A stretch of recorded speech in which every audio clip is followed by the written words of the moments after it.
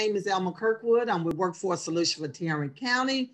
And this morning, we're going to try to give you some information about how to tailor your resume.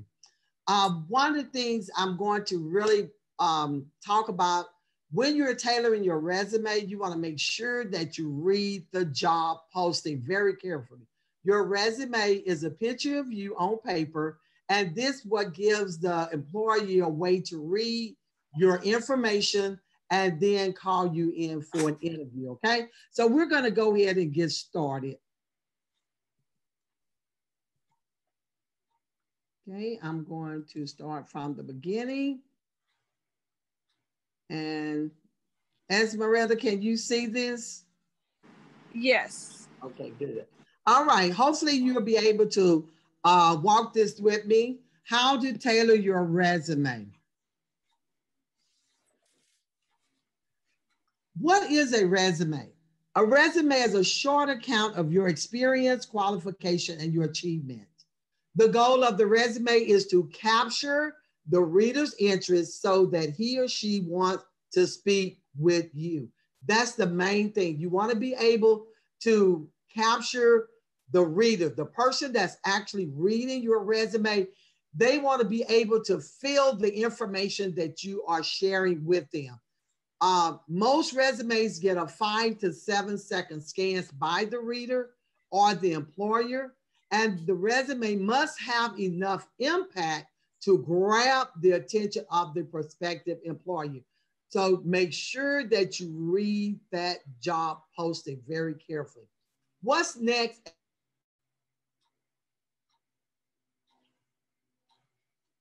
Uh-oh.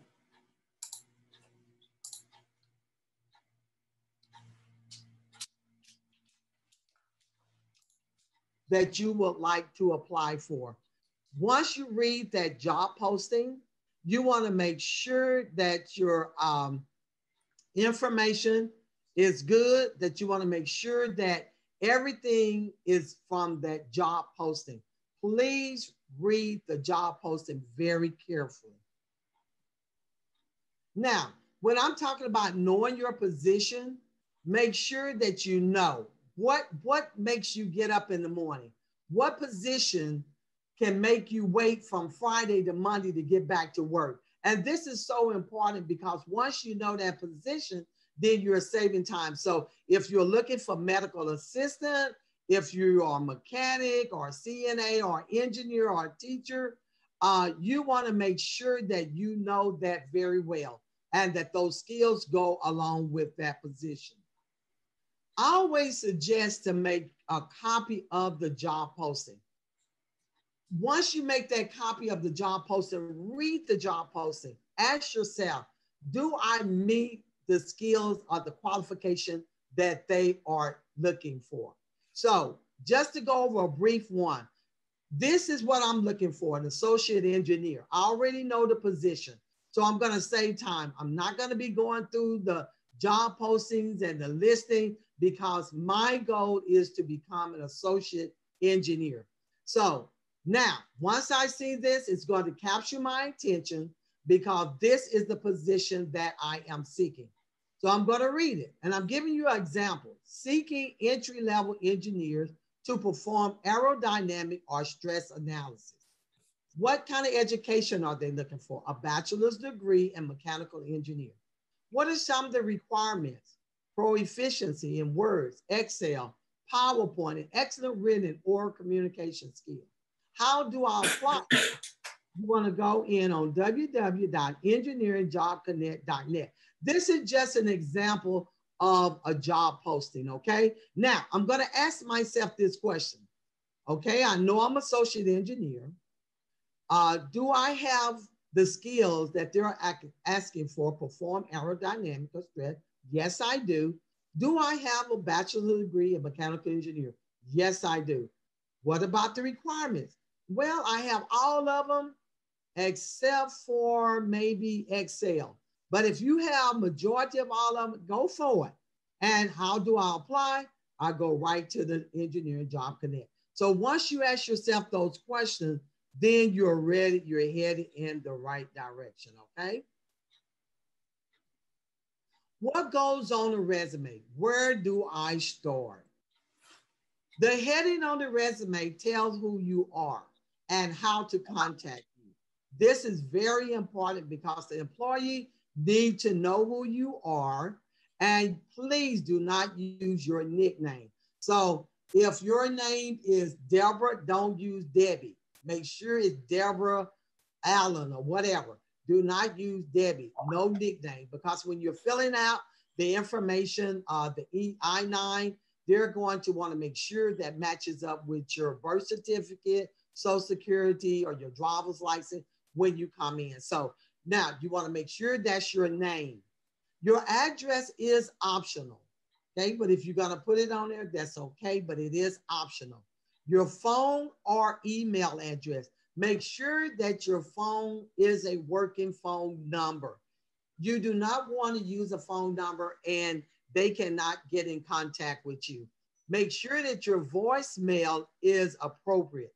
Like, hi, you have reached 817 123 4245. Will you please leave a message after the beep? Or you can go in and say, Hi, this is Elma. You reach 817-423-12345. This will let the person know that they did contact the right person.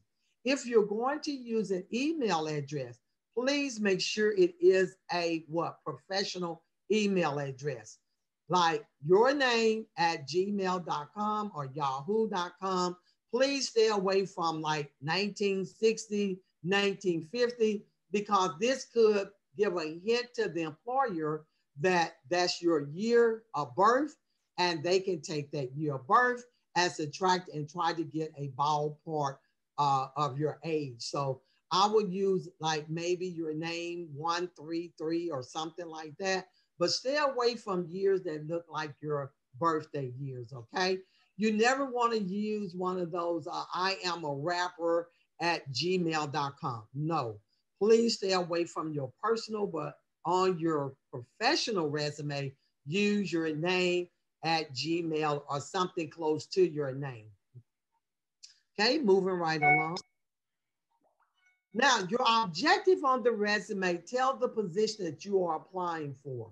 And if you're tailoring this to a job posting, my suggestion would be if they're looking for associate engineer, make that your objective on your resume because it will match up with the job posting. And this again will capture their attention of the reader because they're going to say, oh, this is a position that I'm applying for. You don't want to go in saying, um, I'm available for all positions. No, you need to be specific on your resume. And the resume that we're talking about is called a functional resume. It is tailored to the job posting, and this gives enough information for the employee to want to call you in for an interview. Okay, so you're going to target to tailor your resume is to match the objective on the job posting. So this again will capture the reader's attention. Okay, and I'm just giving you examples. Now, your summary is going to be an introduction to who you are. Okay. It's like when you walk into interview and they said, Tell me a little bit about yourself. So, this is what we're going to do on the summary. An entry level mechanical engineer with internship experience in the aerospace industry, strong leadership and problem solving skill, ability to communicate well with diverse groups and individuals, excellent written and oral communication skills, and can work with the group. So here you're describing some of your high points in your summary. And if they have this on your job posting, then you can go in and take some of that off of the job posting and put it on your resume. Now, your skills, this tells the employer what you can do. Now, on the job posting, you can go in and read that job posting, and they're going to tell you on the job posting some of the skills that they're looking for read those skills and make sure that you can do those skills and then implement it into your resume. So I'm just giving you an example. Work effectively with the team. Improve video editing methods and processes. Prioritize a variety of assignments. Save the company $2 million by creating a new way of cutting the wiring system to produce a better sound system. So here you're letting the company know your achievement, what you have accomplished, how you save the company money. Numbers always stand out. So when you see the number two here, it stands out, okay? If you're not working at that company, you always want to put ED at the end, like improve, prioritize, okay? You want to match that up. Your work experience. Uh, you want to start with your last job first. Most companies only go back at least five to 10 years, okay? And that depends on what they put in the job posting. That's another thing you want to read. If they do have the experience on there, then you want to tailor that experience in. Your education starts with your last year of school. So if your last year of school was a bachelor's degree, that's what you want to put on there. You would not go in and put high school and then your bachelor's degree. You would go with just your bachelor's degree. Uh, do not show your year of graduation on the resume. This is another form of them finding your age because they'll try to estimate it. And that could also go into age discrimination. What does the employer want? You have to think like an employer sometime when you are writing your resume. And you want to be honest with yourself. So think like an employee. What can you do for the company? That's going to be based again on your skill. How can you improve my operation? You're thinking like a company now. Can you make the company money? Maybe you come up with a suggestion or something from your last job, like I put on there, you saved the company so much money. Um, keep the company customers happy. You want to be able to stress that you are a team player and that you can work with people, okay? Now, in my conclusions here, you want to be able to write the resume to attract the interest of the employer. Read the job posting. Read it very carefully. Make sure you ask yourself, do I meet the skills on there? Do I really want to work for this company? You can also go in and try to pull it up on uh, their website. Check out all kind of information. When you're looking for a job, you want to check out the website, check out the company, make sure this is the company that you will be interested in working in. Is this my dream company? Answer these questions for yourself. Then you got to look at the distance that you're going to be driving to these companies. That plays so much as well. Do I want to drive a long distance? Do I look at the traffic? What about negotiation skills? Do I have my salary income? You know, you want to think about all of this in your job search. It's help you write a good resume. You want to make sure that you read the job post. I can't stress that enough. Read that job post. Use enough information to get you the job. The resume must not only show the skills you have, it must demonstrate your successes as well. And if you're interested in each one of our centers, we do offer what we call workshops called MAPS. M, measure and meaning. A, your attitude and your attitude and your altitude. P, purpose and patterns. S, sources and successes. These are all virtual sessions right now due to, to COVID, and you're welcome to sign up for this. Connect with us on our social media. We have different ways you can connect with us. And make sure if you do not have a LinkedIn page, go and try to get you a LinkedIn page. That's where you can network. You can see and network your information out there. Again, we're with Workforce Solution for Tarrant County. Uh, this is our website here, and you can also call, and we do uh, set up appointments in our different centers. Okay, I'm going to show you an example of a resume real quickly. Okay. And this is just an example. You can use different formats as well. You have your heading at the very top uh, with your name. Again, like I said, your uh, address is optional. Make sure that your phone number is a working phone number that they can reach you. And again, check your voicemail. Make sure that when you're looking for work that you check your voicemail because you never know when companies are calling you. Uh, we've had a lot of people miss good job because they did not check their voicemail or their email. You are working for yourself in a sense. You're self-employed. So check your voicemail, check your emails on a daily, you know, to make sure that you do not miss any opportunities on getting that job. Look at your mechanical engineer. That's the objective. That's going to capture the attention because you're going straight to the point. I know a lot of people put, I am seeking a position at this, this, and this, but you want to make sure that you allow the company to know what position that you are seeking. They do not have time to try to figure out what position by reading your skills. You want to target that right off the top. What position? I'm looking at this resume. I know that they're looking for a mechanical engineering position.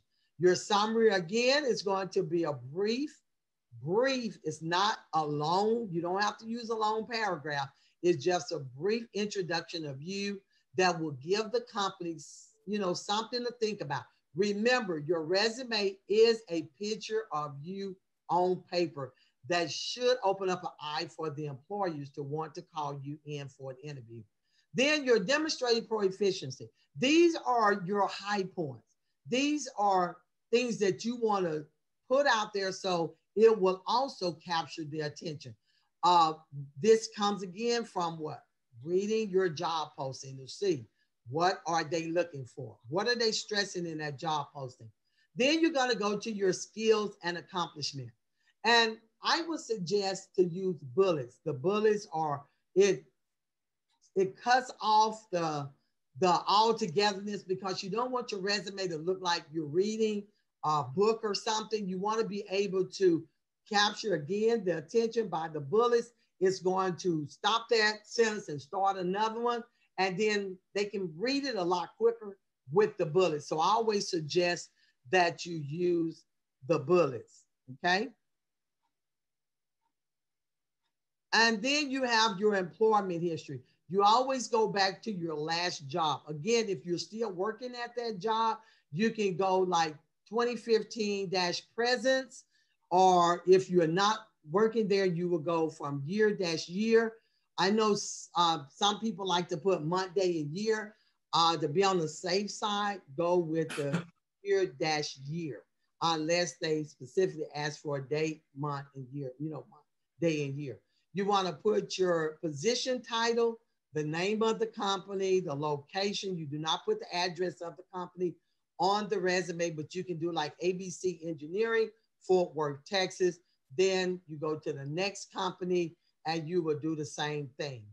Your education, again, is going to be your last education. Uh, Bachelor of Science Mechanical Engineering, you will put the college, Prairie View University, and the location, Prairie View, Texas. If you have any certifications, you will put those certifications on there. You want to make sure that they are updated certifications.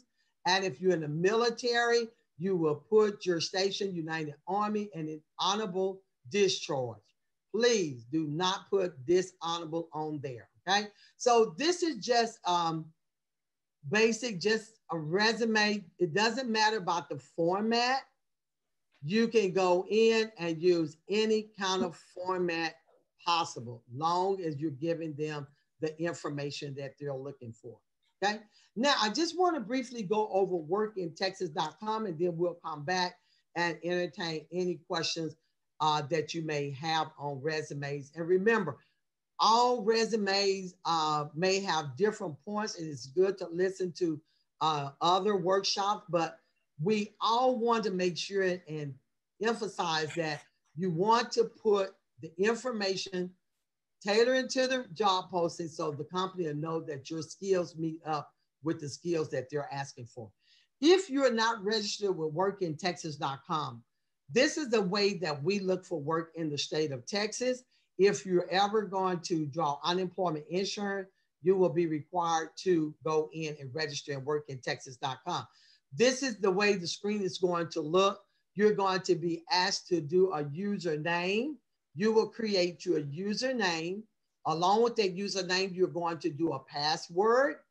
And just say, instance, you forget that, then they have here where you can go in and ask for a new password or change your password. We do have a Spanish version on here. You can search for jobs in your area by doing keywords because this is going to be based a lot on your keywords, your zip code or your city. And then we also have a location here where you can go in and put your status of mileage here. It's going to show you every day that you pull up how many job openings that we do have and the job posted for that day and how many active resumes that we have on the system. And we have employers also that goes in and they can log in and they can put in their company information or we can do that as well. We can go in and assist them with uh, entering their job posting information, okay? Here where you see job seekers is where you can go in, you can look for a job, you can create your resume on here. If you are a veteran, you put your information in, education training, and this is going to create you a resume on our system as well. Uh, the employees will go in and do the same thing here. And by you putting in your information, they can also select you and you can see the job openings that come up on Work in Texas as well. So go in on workintexas.com, register, and go from there and make sure that you have all your information. Check Work in Texas, uh, I mean, daily if you possibly can, see if any new jobs match up. If you're not getting any jobs, go back in and check your keywords and add more keywords on there. Okay. And you can do multiple skills on there. So if you're interested in C and A, or if you're interested in teachers or whatever, you can do as many keywords on work in Texas as possible. And again, if you need us to look at your resume, feel free to email me and I will look it over for you and get back with you just to see, uh, you know, how we can uh, help you and assist you with your resume. Again, your resume is a picture of you on paper and treat it like a million dollars because this is going to get you that next job. My saying is there is a job out there with your name on it and it's just waiting for you to come and get it. All right. Thank you all. I hope we've been a, a success for as giving you some information about how to tailor your resume. Again, my name is Elma Kirkwood. I work with Workforce Solution for Tarrant County.